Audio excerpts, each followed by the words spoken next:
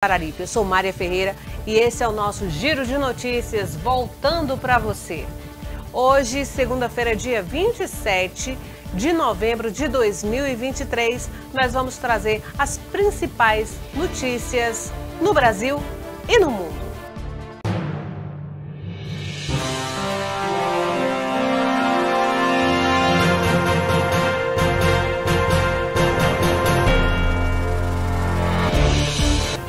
Pacientes são convocados para a cirurgia de catarata em Petrolina. A meta é realizar cerca de 2 mil atendimentos. Podem passar pela consulta e posterior cirurgia apenas os pacientes que tenham guia marcado pelo município de Petrolina.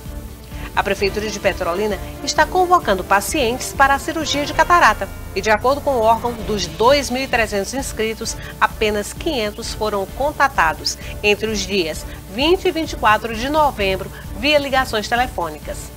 A meta é realizar cerca de 2 mil atendimentos. Podem passar pela consulta e posterior cirurgias apenas os pacientes que tenham guia marcada pelo município de Petrolina. Por isso, é necessário atender as ligações para pegar as marcações. Maiores informações você encontra no g1.com.br Petrolina e região. Com ciúmes, marido mata homem que chamou mulher dele para dançar em uma cidade do Agreste pernambucano.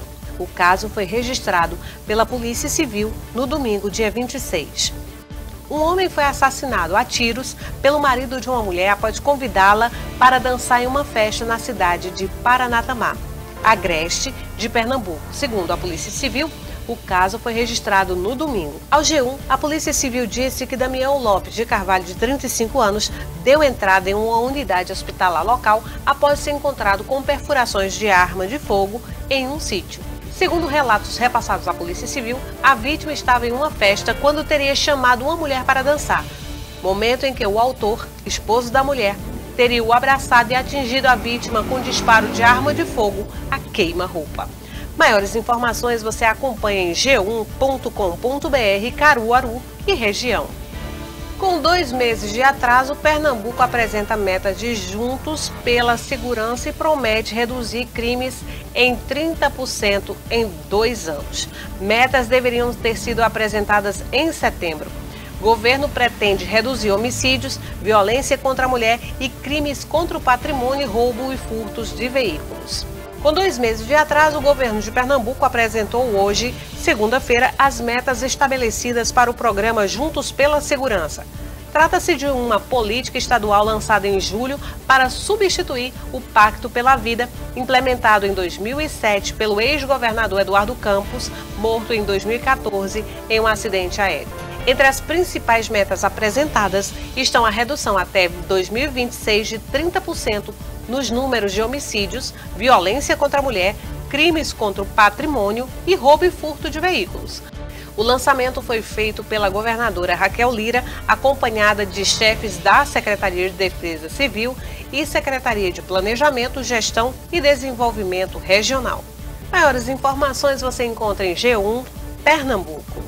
Vamos falar de fé. Festa do Morro da Conceição de 2023 deve atrair um milhão e meio de fiéis até o dia 8 de dezembro. A popular Festa do Morro da Conceição de 2023, que chega aos 119 anos, deve atrair um milhão e meio de pessoas em 10 dias.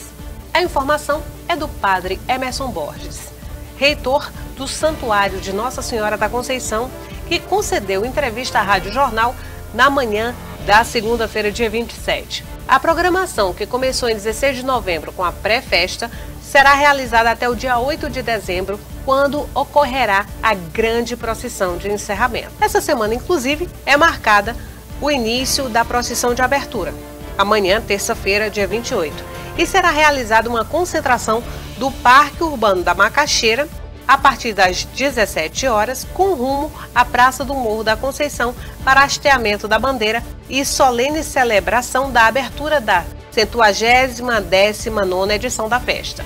Maiores informações você acompanha no site jc.ne10.ol.com.br. E para finalizarmos o nosso giro de hoje, novenário da Imaculada Conceição em Araripina terá início amanhã e Padre José Newton faz um convite muito especial para a festa da padroeira. está chegando o início das festividades em honra à Imaculada Conceição na cidade de Araripina.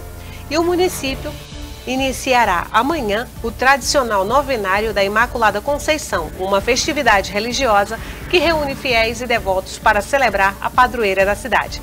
O padre José Nilton, líder espiritual da comunidade, fez um convite em entrevista à TV Ativa do Araripe para que os fiéis participem ativamente da festa da padroeira.